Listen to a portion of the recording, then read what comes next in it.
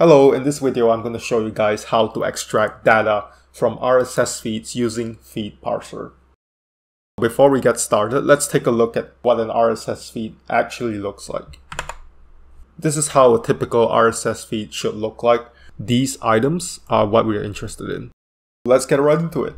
We need the library called Feedparser. We can install it via pip, like pip install feed parser. What it actually returns is a dictionary. I'm going to go ahead and print out the keys. And there we go. I'm not going to go through all of the items in this video, but the most important ones are the entry,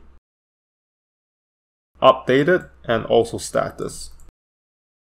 Essentially, the entries returns the data, the updated item returns when the feed was last modified, and the status returns HTTP response. I'm going to get into these two later on, but for now, let's take a look at the data itself. I'm actually going to show you guys what each of the entries look like. So first I'm going to store it in a variable and then I'll dump it into a JSON file. Of course, each RSS feed might have slightly different variations of the field itself, but in general, most RSS feeds will have URL, title at least, something like that. We first extract the titles and store it in an array. And you can dump it in the JSON file, like what I did. Run. Boom. This JSON file has every single title right here. The next thing I want to show you guys is actually something pretty important. It's a way of conserving bandwidth for both yourself and also for the server. You don't really want to extract the entire RSS feed if there has been no changes, right? So what you can actually do is specify a modified header.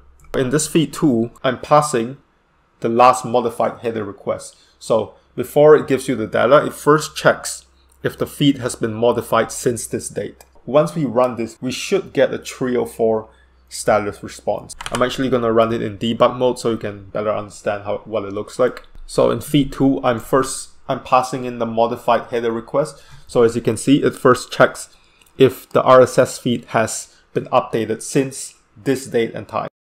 And obviously, it hasn't. So we're going to print out the status.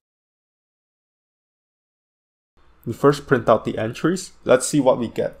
We get an empty array because of course it hasn't been modified since, so we don't get any new data. And let's take a look at the status.